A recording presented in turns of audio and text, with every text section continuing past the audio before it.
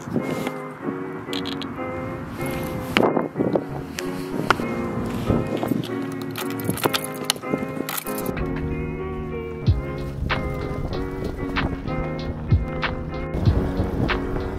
just reopened, they're already doing work on it. What's going on?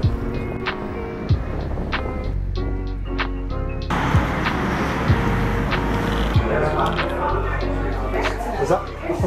For sure.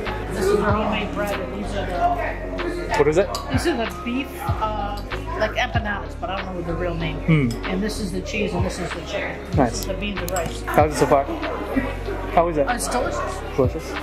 I own my own uh, small catering business, so come to support local. You know. I thought so. I appreciate it. You're welcome.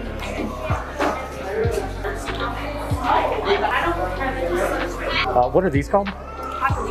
Chicken, one of those. Also take a uh, roast pork. The lunch combo. Yeah. Also, can I film your shirt? Honestly, I'm excited for this food. I got my bread already. Maybe roast pork.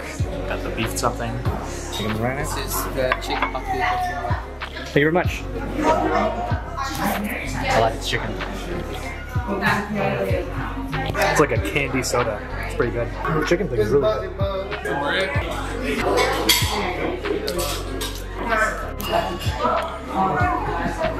Ah, I'm doing good. What's your name? Alex. Okay. Oh my god, know his face. Everything okay? Yeah, I'm doing good. Thank you. Pork roast with mac salad and white rice. It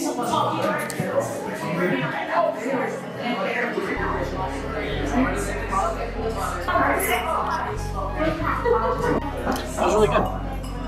Really it here. Um, I think this is going to be a really popular place in Elmira.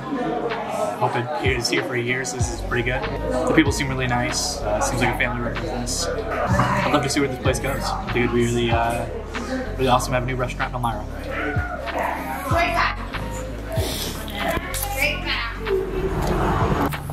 Really good place.